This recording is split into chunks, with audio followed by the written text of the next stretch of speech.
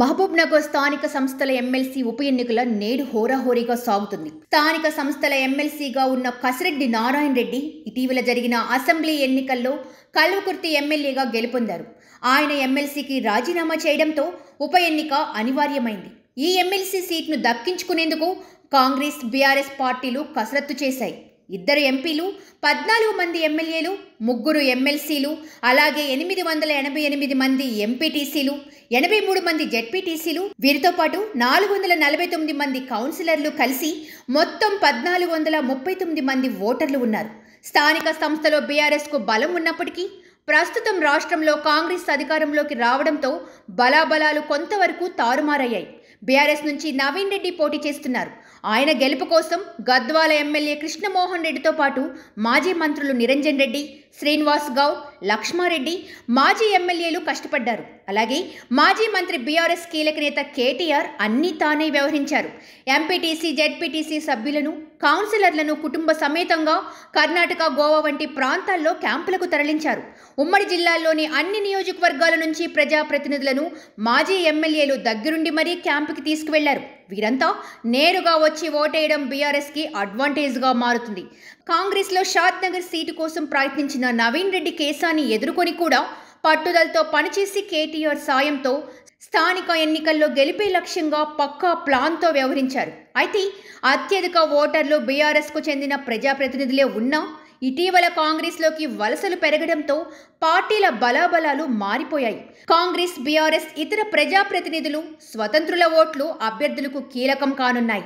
ఓటర్ల మద్దతు దక్కించుకునేందుకు కాంగ్రెస్ అభ్యర్థి మన్నె జీవన్ రెడ్డి బీఆర్ఎస్ అభ్యర్థి నవీన్ కుమార్ రెడ్డి అన్ని రకాల ప్రయత్నాలు చేశారు. ఇక ఎన్నికలకు ముందే కొంతమంది ప్రజాప్రతినిధులు బీఆర్ఎస్ని వీడి కాంగ్రెస్లో చేరి పార్టీ గెలుపు కోసం కృషి చేశారు.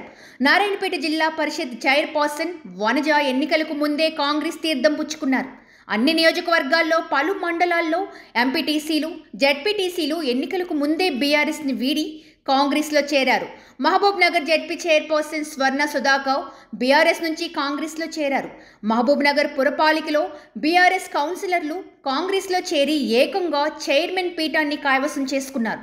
గద్వాల మున్సిపల్ చైర్మన్ సహా పదహారు మంది కౌన్సిలర్లు బీఆర్ఎస్ని వీడి హస్తం తీర్థం పుచ్చుకున్నారు. వివిధ పార్టీలకు చెందిన ప్రజాప్రతినిధులు హస్తం పార్టీలో చేరడంతో కాంగ్రెస్ బలం క్రమంగా పెరుగుతుంది. అయితే ఎంతమంది పార్టీని వీడిన బీఆర్ఎస్ మాత్రం గెలుపు ధీమాతో ఉంది.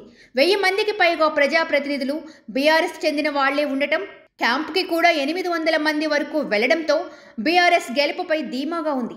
మరోవైపు ఈ ఎన్నికల్ని సీఎం రేవంత్ రెడ్డి సైతం ప్రతిష్టాత్మకంగా తీసుకున్నారు. ఉమ్మడి జిల్లా ప్రజాప్రతినిధులతో సీఎం రేవంత్ రెడ్డి సమీక్ష సైతం నిర్వహించారు. అంతేకాక స్థానిక ఎమ్మెల్యే హోదాలో స్వయంగా ఓటు హక్కు వినియోగించుకున్నారు. సాధారణంగా సీఎం స్థాయిలో ఉన్న వ్యక్తి స్థానిక సంస్థల ఎన్నికల్లో ఓటేయడం అరుదు. అయితే సొంత జిల్లాల్లో గెలుపు ప్రతిష్టాత్మకం కావడంతో రేవంత్ ఓటేశారు.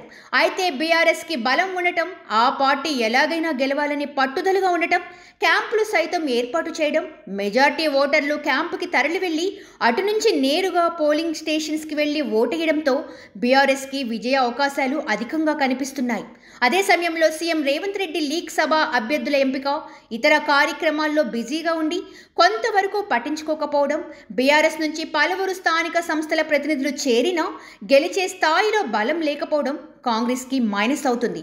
బీఆర్ఎస్ క్యాంపుకి వెళ్ళిన వారు మొత్తం కారు గుర్తుకు ఓటేస్తే కాంగ్రెస్ ప్రభుత్వానికి తొలి దెబ్బ తగిలినట్టే అని స్పష్టంగా చెప్పవచ్చు.